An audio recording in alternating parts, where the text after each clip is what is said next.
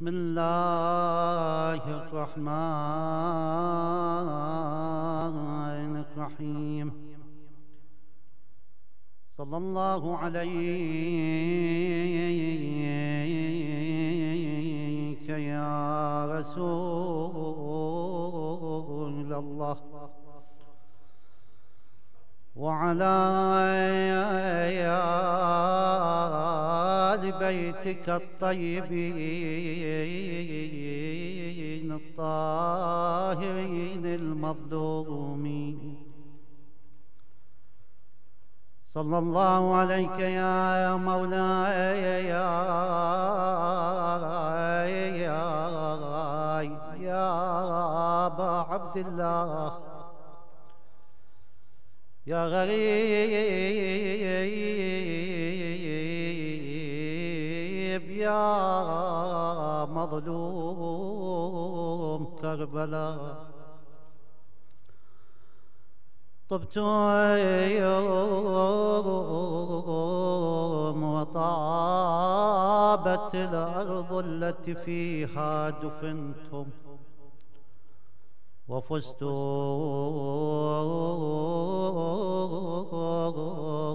والله فوزا عظيما فيا ليتنا كنا معكم سادتي فنفوز فوزا عظيما. إذا ذكر الحسين فأي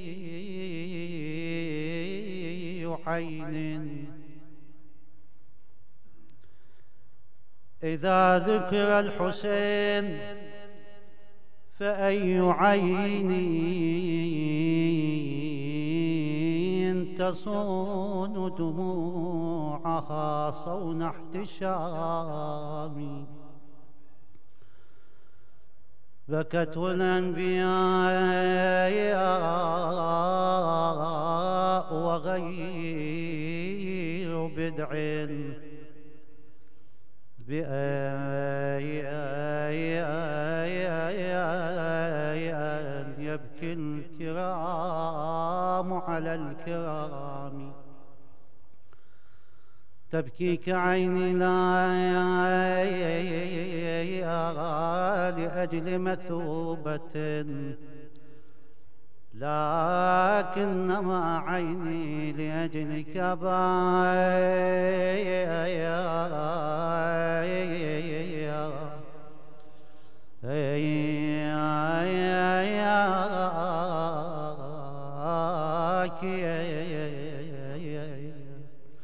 تبتل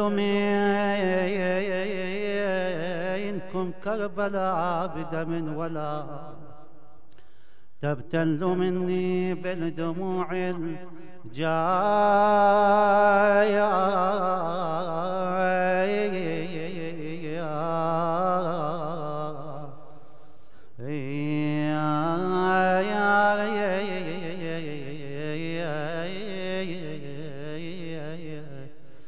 أنست رزيتكم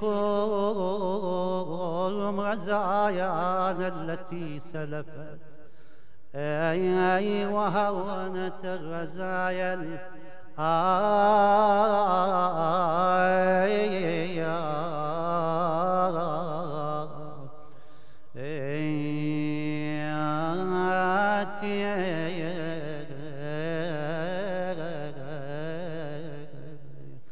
وفجائع الأيام تبقى مدة وتزول.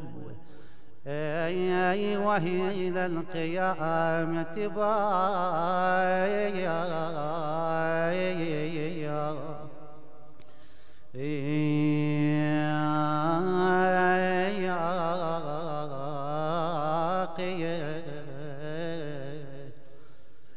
يلي تناشدني علي من تدمع العين. كل البكاء والنور كله على حبه بقلبي حبه بقلبي إنا لله وإنا إليه راجعون. موضوعنا في هذه الليلة.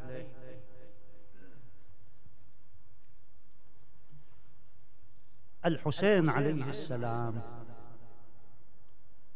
في واقعنا الاجتماعي وفي واقعنا الفقهي. لأن كل واحد من عنده من عندنا عنده علاقة مع الحسين عليه السلام سواء من خلال العادات أو من خلال ما يجري في حياته من أمور فقهية. خلنا نوضح لك إياها بشكل آخر. إحنا عندما تمر إلى حياتنا الاجتماعية تمر على الكتاب اللي يدرسون نهضة الحسين عليه السلام وتأثيرها على الواقع الاجتماعي في البلدان التي تتخذ من الحسين قدوة ومنارا ونبراسا في حياتها. تجد تأثيرا على ذلك. يعني مثلا خلينا أوضح لك إياها بشكل آخر. يعني في السابق مثلا عندما تذهب مثلا إلى النجف الأشرف كان مثلا من عادتهم إذا اشترى شخص بيتا إنه بماذا يفتتح بيته؟ يفتتحه بمجلس حسيني يتبرك بذكر الحسين سلام الله عليه. هذه موجودة. عندك بعد من تمر لنأخذ مثلا لبنان. لبنان لما أسست أفواج المقاومة الإسلامية اتخذوا أي يوم اتخذوا يوما يتعلق بالحسين عليه السلام. في سنة 1974 اتخذوا يوم الأربعين.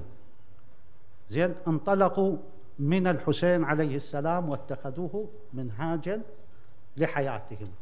هذا شيء أثر يأثر إلى مدى أو إلى أي مدى وإلى أي عمق يعيش الحسين عليه السلام بداخلنا. هالشيء العلم اتطور. شوف إحنا اليوم من نمر على الإعلام. الإعلام أمر في غاية الأهمية لكن أيضا تأثر أراد أن يعرض قضية الحسين عليه السلام بشكلها الجميل والمحبب إلى الناس. يعني على سبيل المثال قناة آه، المنار اللبنانية. أرادت أن تعمل عتفت فكرة أنه عشرة أيام شهر محرم أن تبث التعزية من خلال الاستديو. زين هاي قناة يتبعها الملايين سواء من الشيعة أو من غير الشيعة. زين أنت شو تجيب لك؟ جيب لك فد شخص يعرف شلون يخاطب العقول شلون يعرف يفهم الناس قضية الحسين سلام الله عليه. ليش؟ لأن قضية الحسين عليه السلام تجد الآن مثلا بعض الدراسات منها مثلا الدولة الأموية المفترى عليها. دراسة للدكتور شاهين دراسة موجودة مطروحة. فوقع الاختيار على عميد المنبر المرحوم الدكتور أحمد الوائلي كي يقدمها بأفضل شيء. وفعلا نجحت وقدمت هذا الشيء بهذا الشكل الجميل. فشئنا أم أبينا الحسين عليه السلام يرتبط بنفوسنا أو يرتبط بتاريخنا وبحياتنا وفي كل شيء. لأن هذا حب الحسين. ويقول حب الحسين أجنني هذا إلى في تأثيرنا الاجتماعي. خلينا نمر على واقعنا الفقهي. في واقعنا الفقهي نجد هناك آه، عند الفقهاء يمرون على قضايا تتعلق بأهل البيت عليهم السلام وبالحسين بشكل خاص. كيف؟ من نمر على قضية النذر. قضية النذر تدري بعض الناس ينذر. مرة ينذر بصيغة شرعية ومرة ينذر شو يقول؟ يقول أنا إذا صار عندي ولد الله رزقني بمولود أن أذبح ذبيحة للعباس أو أقيم مأدبة للحسين. طبعا إحنا النذر الشرعي النذر الشرعي إلى صيغة. أول صيغة شلون تكون؟ يكون أن تقول مثلا لله علي إن تحقق الأمر الفلاني أن أذبح ذبيحة وأهدي ثوابها إلمن أهدي ثوابها للحسين عليه السلام. هذا يصح أما إذا تخليها بشكل هالشكل أنا عندي نذر للحسين؟ لا هذا ما يصير. يعني ما راح يتحقق. حتى يكون الأمر هكذا إنه الهدية تكون إلى الحسين سلام الله عليه، زين أنت هنا قد تسأل هاي المسألة الهدايا إلى الأموات فقط موجودة عندنا؟ يعني إحنا الإمامية؟ لا مو بس إحنا موجودة عندنا. شوف من نمر مثلا على آه، إحياء علوم الدين للغزالي أو الغزالي هسه على روايتين في قراءة نسبه، المهم هذا من يمر على شخص اسمه آه علي ابن الموفق. علي ابن الموفق هو على حد تعبيره يقول هذا من طبقة الجنيد. طبقة الجنيد الجنيد اللي مدفون في بغداد في المقبرة الشينوزية. اللي عنده معرفة في بغداد هناك مدفون. هذا العراق بلد التصوف لأن به مثلا شيخ عبد القادر الجيلاني بالسرسقطي فهذا واحد إنه من من أعمدة التصوف عندهم فهو من يقول هذا من طبقة الجنيد. هذا يقول إنه ذبح الكثير من الأضاحي وأهدى ثوابها إلى النبي محمد صلى الله عليه وآله وسلم.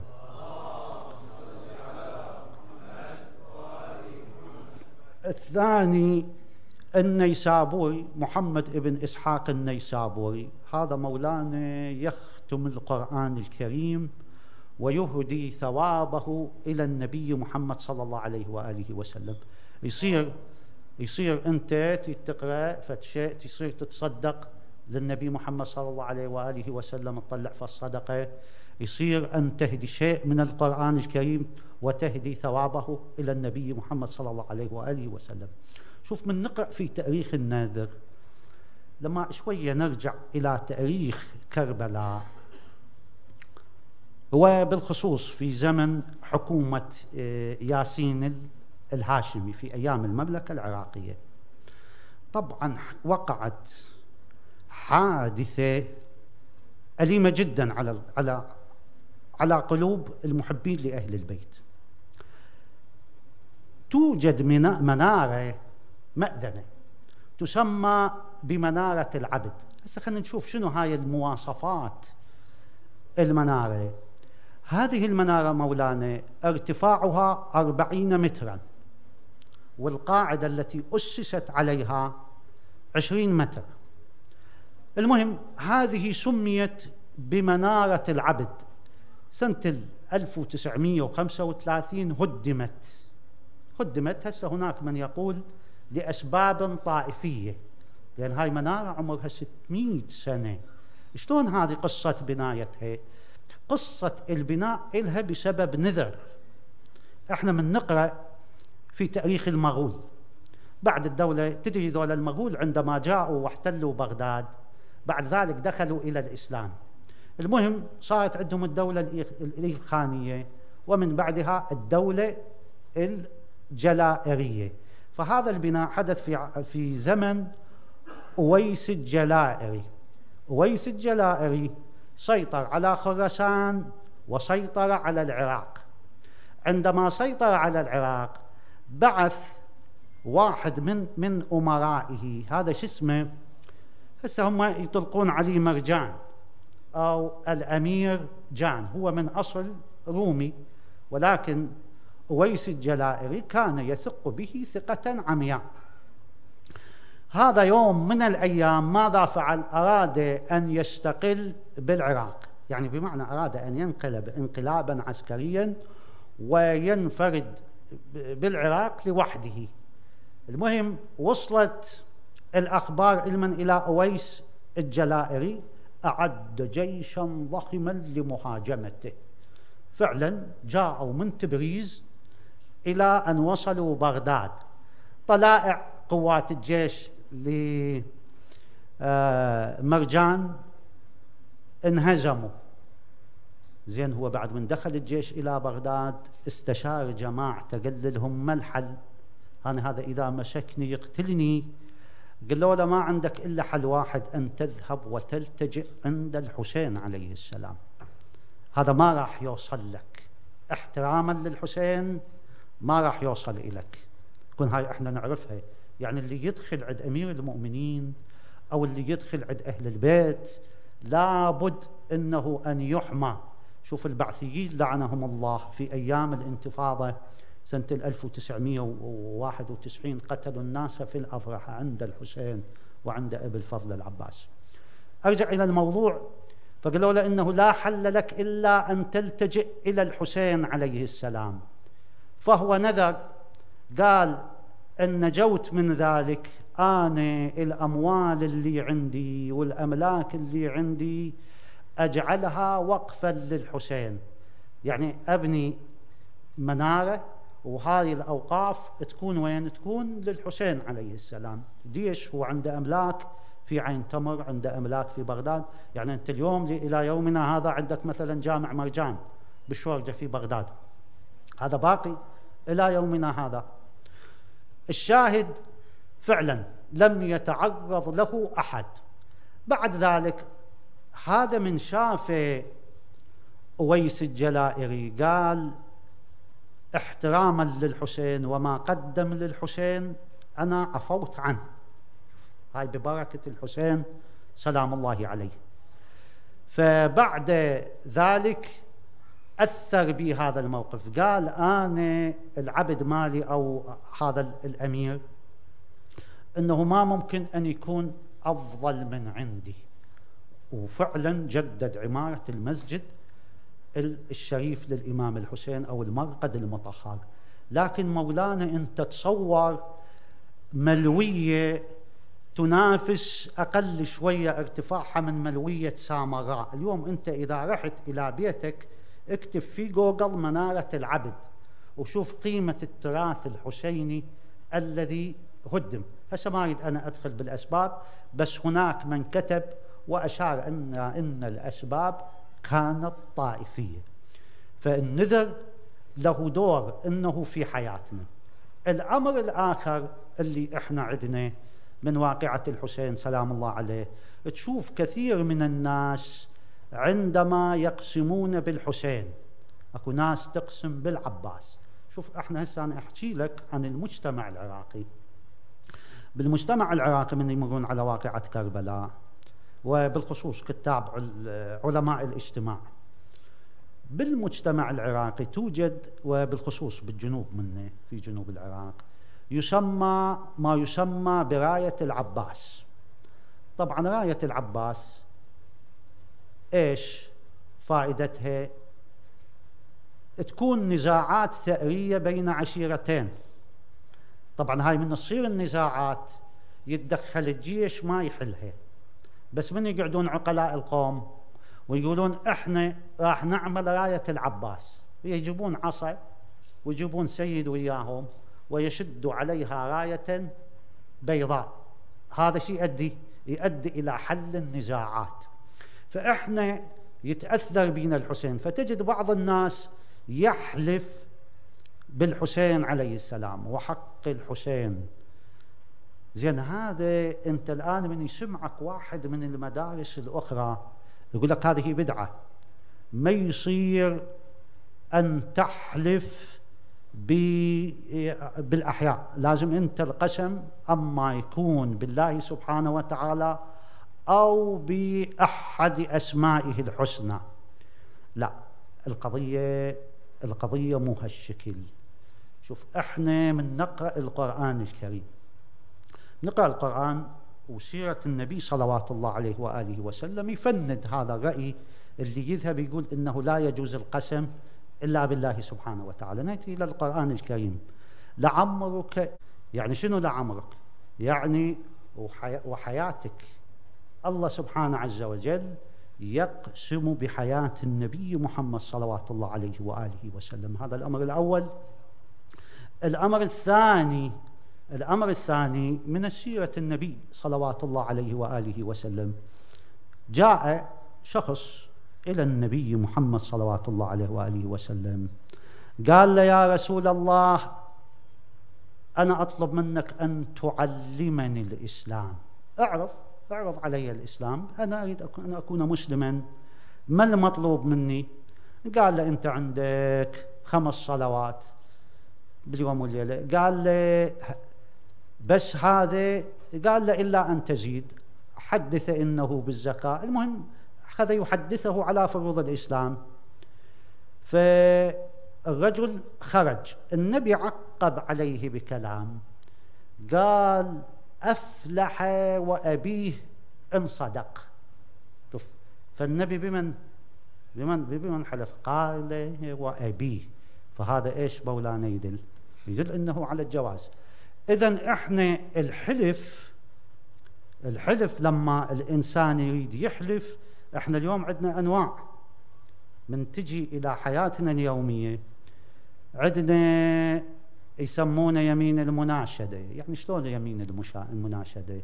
يعني تلقى اثنين آه، في باب المطعم واحد يقول له والله أنا اللي أدفع. يصير لو ما يصير؟ هذا شو يسمونه؟ يسمونه يمين المناشدة.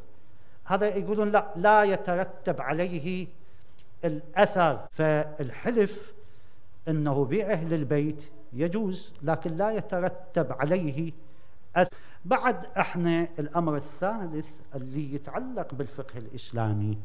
شوف الناس عندما توفق إلى زيارة أهل البيت توفق إلى زيارة أهل البيت سلام الله عليهم اللي رايح إلى عتباتنا المقدسة. في بعض الأحيان شو يشوف؟ يشوف هناك من يقبل عتبة الإمام. طبعا هذه إذا كانت بعنوان السجود للإمام هذا ما يصير. لأن إحنا في عقيدتنا السجود فقط لله سبحانه وتعالى. السجود لله سبحانه وتعالى. لكن إذا كان مثلا من باب الشكر لله سبحانه عز وجل. لا إشكال في ذلك. شوف حدثت حادثة في النجف الأشرف تقريبا بالألف وثمانمية على ما أعتقد وتسعة وتسعين. المهم في أيام الوهابية يقول كان هناك من فوارس ابن عبد الوهاب جايين إلى إلى إلى بغداد. وكان جاي وياهم منو؟ الحاج العراقي. هذول جايين يسوقون حتى يرجعون إلى بلاد نجد. تدري في تلك الفترة كانوا آه، يتسوقون كل اللي عندهم يأتون إلى إلى بغداد ويأتون إلى هذه المدن لكي يتسوقوا منها ويتبضعون. الشاهد في ذلك عندما وصلوا وين؟ وصلوا إلى النجف الأشرف. من اللي كان جاي؟ كان اللي قادم آه، شيخ الخزاعل قبيلة عراقية معروفة. هذا من عادته مولانا لما وصل إلى باب الضريح زين نزل وقبل آه، عتبة باب الأمير سلام الله عليه. الناس اكو حكمة تقول الناس اعداء ما جهلوا. هذا ما يعرف إيش القضية. شاف هذا سجد وفي غير موضعه نزلوا وقتلوه وذبحوه. زين هذا ويا رجالته ويا جماعته ويا علية القوم من عشيرته من الفوارس. وإذا مولانا تنشب معركة لمدة ثلاث ساعات. معركة لمدة ثلاث ساعات طبعا وقعوا من جنود الوهابي آه، مئة قتيل. طبعا إحنا إحنا مع الأسف اليوم ما عندنا ناس مولانا اللي طالب بالمجازر اللي حدثت. يعني مثلا اليوم أنت الأرمن الأرمن في كل عام يطلعون إنه على المذابح التي يقولون جرت عليهم. تشوفها في فرنسا عندهم تأييد أوروبي. تعال قل لي إحنا مثلا منو اللي وقف وقال أنتم ذبحتوا الناس؟ لأنه كربلاء تعرضت إلى مجزرتين. تعرضت مجزرة من قبل العثمانيين وتعرضت إلى مجزرة من قبل الوهابيين. يعني تدري ماذا فعل عندما هجموا إلى كربلاء؟ هجموا عليهم في تلك الأيام قتلوا الناس قتلوا الرضع مولانا. زين عندك اليوم واحد يقدر يمتلك شجاعة مثل شجاعة الأرمن ويطلع يقول والله إحنا نطالب؟ مع العلم أنت تسمع أصوات من هنا وهناك. يقول لك واحد إحنا نطالب بتعمير الأئمة بتعمير القبور.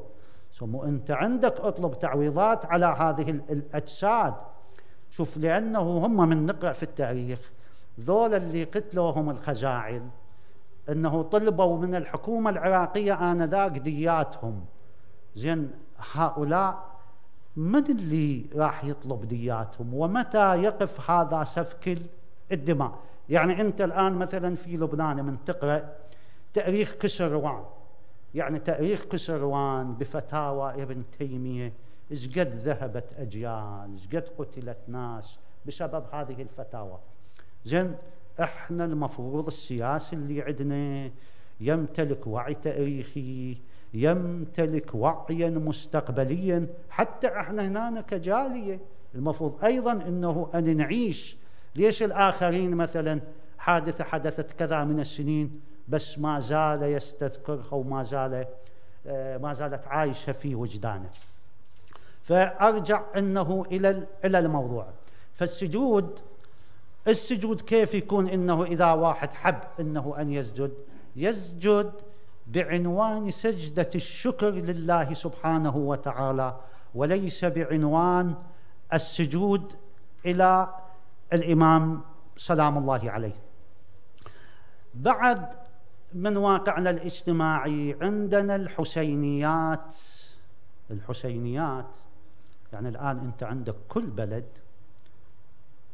فيه حسينية. يعني الآن إذا تذهب مثلا إلى بيروت تجد فيها حسينيات. تذهب إلى النبطية تجد فيها حسينيات. تذهب إلى كربلاء تجد كل مكان فيه شيعة تجد فيها الحسينيات. أول مرة خلينا نمر على الجانب الفقهي ما هو الفرق بين الحسينية وبين المسجد؟ طبعا المسجد له أحكامه التعبدية. يعني مثل إيش المسجد؟ المسجد يستحب من يدخل الإنسان يستحب أن يدخل له على طهارة بعد أن يصلي فيه ركعتين إذا كان مجنبا أو بالحدث الأكبر رجلا أو امرأة لا يجوز له أنه أن يدخل إلى المسجد. زين هاي الأحكام لا تنطبق وين؟ على الحسينية. يعني الحسينية هي مجرد قاعة يقام فيها ذكر الحسين سلام الله عليه. يعني ما تشملها أحكام المسجدية. يعني شلون ما تشملها أحكام المسجدية؟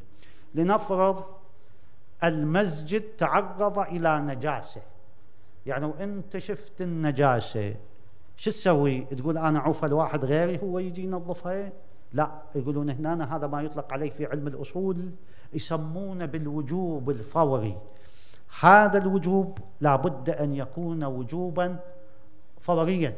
يعني اللي يشوف هذه ما تنطبق إنه على الحسينية. الحسينية ما تشمله. لكن أنت لو تسأل يعني هل كانت هذه الحسينيات مثلا إيش قد عمرها؟ يعني كانت موجودة آه، بالعصور الإسلامية. ما إحنا عندنا من نجي إلى تاريخ المسلمين.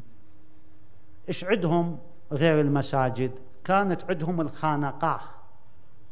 الخانقه والرباطات. يعني هذه الخانقات توضع إنه على الطرق الناس تأتي فيها تصلي. زين الرباط كان مثلا إيش هذا الرباط؟ الرباط يأتي التلامذة مثلا اللي يدرسون التصوف يذهبون إلى هذا الرباط. يعني شلون هسه الدير اللي موجود عند المسيحيين يأتون الرهبان؟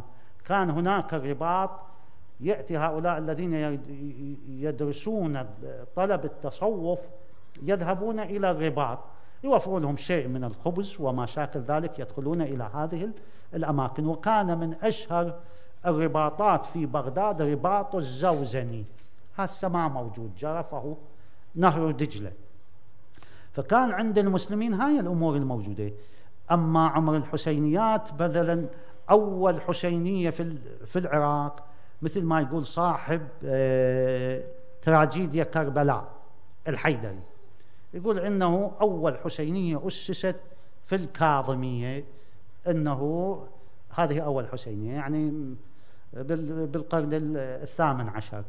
كذلك أول الحسينيات مثلا بنيت وين؟ بنيت على ما في بالي إنه في في النبطية.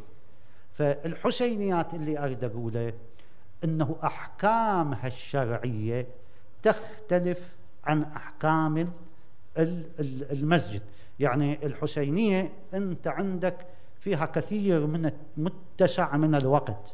فهي بحد ذاتها مخصصة لإقامة ذكرى الحسين. وما يتعلق بهذه الذكرى التي تخص الإمام الحسين سلام الله عليه. بعد عندنا من الجوانب الأخرى من نمر على الأئمة سلام الله عليهم. مثلا من نمر على الإمام موسى بن جعفر سلام الله عليه. من يمر على موسى بن جعفر يروي لنا الإمام الرضا سلام الله عليه يقول كان والدي إذا دخل عليه شهر المحرم. الأئمة كانوا يبكون في أول الأيام إنه تعلوه الكآبة وإذا كان اليوم العاشر كان يوم مصيبته ويوم حزنه. فمرات الأئمة يعللون يقولون مثلا آه، الحسين ذبح في شهر المحرم. وبشهر المحرم كان أهل الجاهلية يعظمونه. شهر شوف الحسين عليه السلام. الحسين لما خرج خرج من مكة احتراما لمكة وصونا للشهر الحرام حتى لا يقتل به. شوف هذا الشهر هذه الأشهر كانت مقدسة من أيام نبي الله إبراهيم. زين وإجت الجاهلية وإلى الإسلام أقرها. ليش؟ لأن هاي بيها سلام. هاي الأشهر اللي هي ذي القعدة ومحرم وغيرها من الأشهر الأشهر الأربعة. ذني يحرم فيها القتال.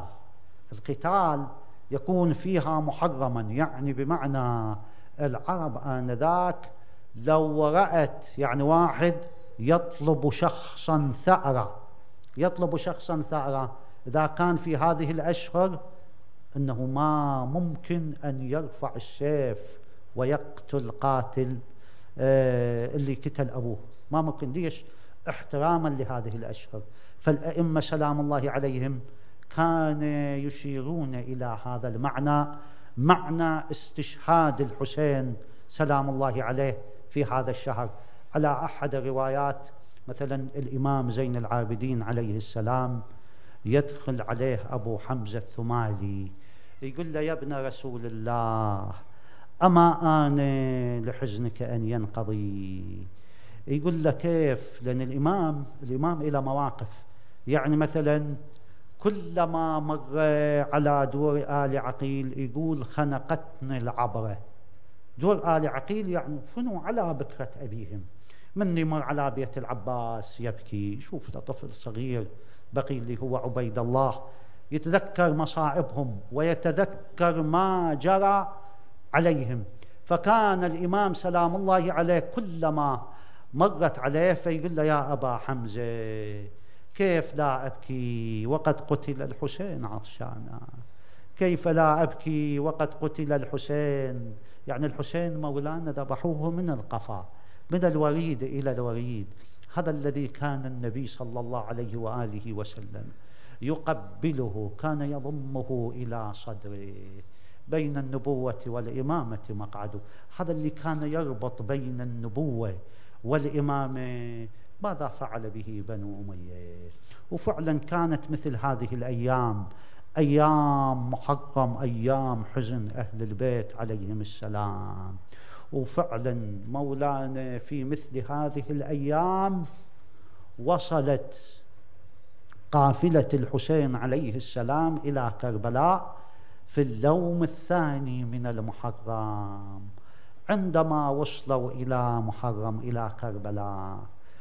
تدري أسرة بها نساء بها أطفال عندما رأت ذلك الجيش ذلك الجيش وقد أحاط بالحسين عليه السلام. تدري ذولا مدججين أسلحة هذا اللي في قلبه حقد على أهل البيت سلام الله عليهم.